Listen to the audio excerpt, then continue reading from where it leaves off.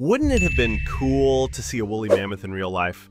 Or stand face to face with a saber-toothed tiger? Unfortunately, that world doesn't exist anymore. But it once did, and those were not even the only stars of the extinct world. Many other extinct animals used to walk on the face of Earth that were just as mind-blowing.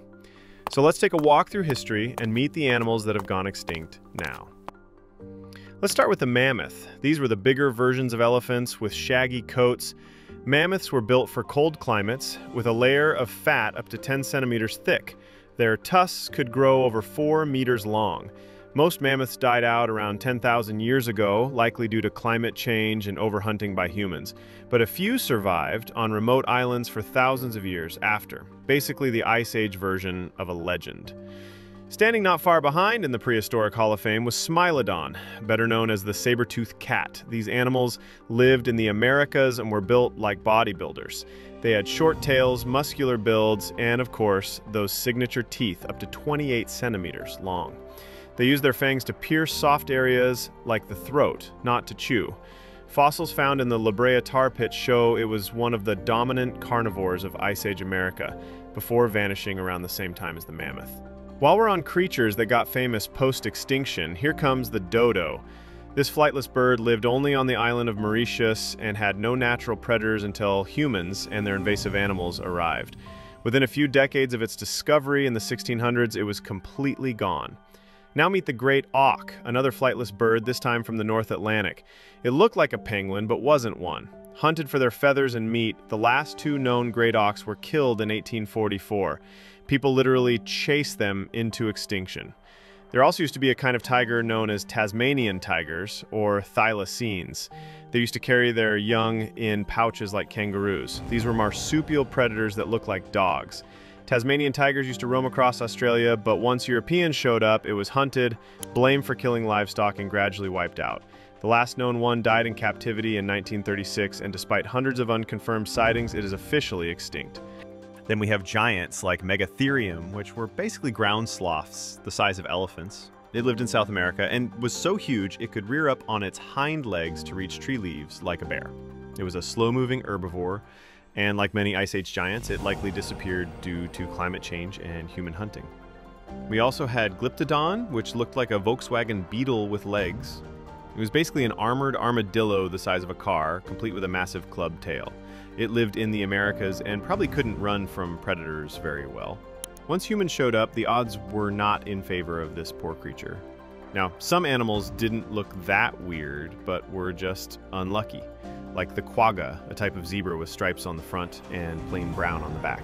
It lived in South Africa and was hunted into extinction by the late 1800s. The last one died in a zoo in 1883. Scientists have tried recreating it using DNA from zebras, with partial success. How can we forget about the Irish elk? Even though it was not Irish and was not technically an elk, it was still called that. It had the largest antlers of any known deer, sometimes over 3.5 meters wide.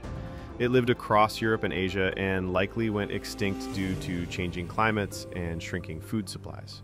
Heading underwater, there was Megalodon. This was a prehistoric shark estimated to be up to 18 meters long. Its bite force was enough to crush a car, and its teeth were the size of a human hand. It dominated the oceans for millions of years before vanishing around 3.6 million years ago. It went extinct due to climate change and the rise of smaller, faster sharks like the great white. Then there were the moas of New Zealand, huge flightless birds that could grow over 3 meters tall and weigh up to 250 kilograms. They were wiped out by early Polynesian settlers who hunted them relentlessly. And since they laid only a few eggs at a time, they didn't stand a chance. Now, have you ever heard of Steller's sea cow? It was a gentle, slow-moving giant related to manatees that lived in the Bering Sea. It was discovered in 1741 and hunted to extinction by 1768, just 27 years between discovery and disappearance. Now for a weird one, the Haast's eagle. This was the largest eagle ever known with a wingspan of about three meters. It lived in New Zealand and hunted giant flightless birds like the moa. It vanished soon after its primary food source disappeared. One extinction dragged another down with it. The passenger pigeon is another tragic story. Once the most numerous bird in North America, billions of them filled the skies. But commercial hunting and deforestation wiped them out.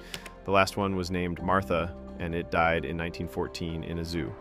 Then there is the strange story of the Pyrenean ibex.